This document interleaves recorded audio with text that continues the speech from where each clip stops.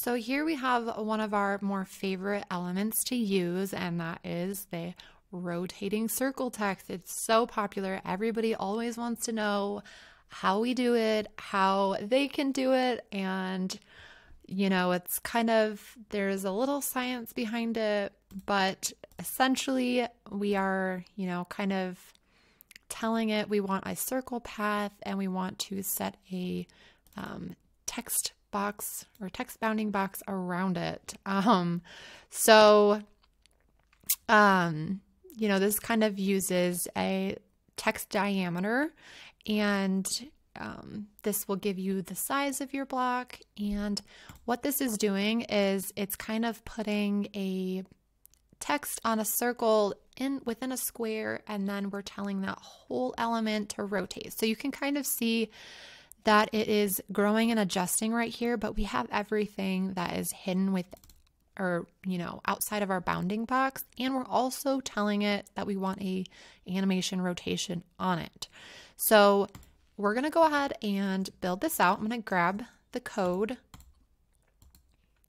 and let's start on a fresh layer. So what i want to do is add you know that predetermined code right into an embed box um, and we, we'll give this to you. But essentially, you know, we have our text path, we have our animation rotation, how long we would like the animation rotation. We're kind of setting a font family and telling exactly how we want this path to look. So once I save it, you're going to obviously see that it's trying to kind of go on a square. So what I'm going to say is I want it to be 200 by 200.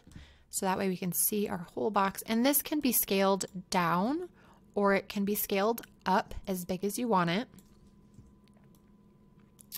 But we're kind of just determining within the embed code um, how we want the text to look. Um, and it's, you know, the size, the color, the fonts. Um, so in our sample, we just have Montserrat and we've pulled in all of the font weights. You could also determine, you know, if you want it thin. Um, so if we change this to font weight 100, then you'll see that, you know, kind of we've reduced that font weight. So you're getting a little bit more spacing right here.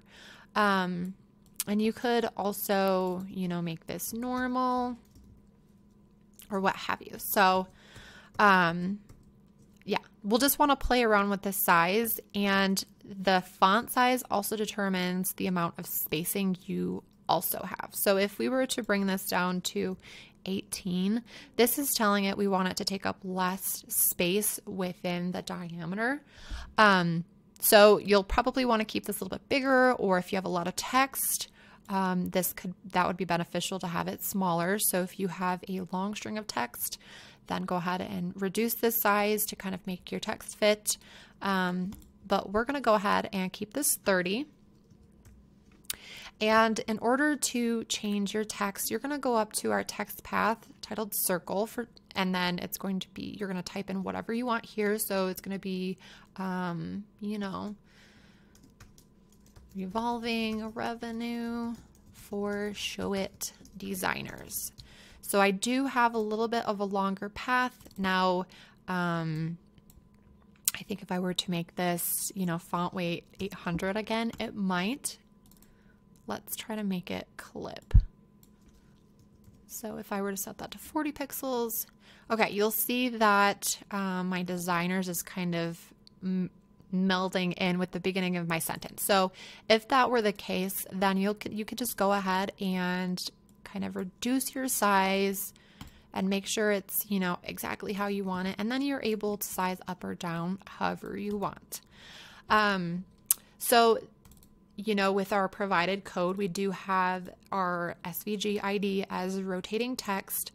Um, but in order to get a circle text that does not rotate, um, here is another example. So it's the same circle path, but it's not rotating. So we're just kind of like telling it we still want it on the circle path, but we do not want it to rotate. So you would, you know, you'd use the same kind of application, except we're, we're not wanting it to rotate at all. So you could easily remove that. Um, and then if you would like multiple on here, you know, you could easily, let's say, find, I want to change all of my rotating to static. So, you know, and that will kind of stop it. So now when you preview it, it's just static. And then, you know, if you were to keep that keyframe animation in there, then you'll be rotating. And that's how we do it.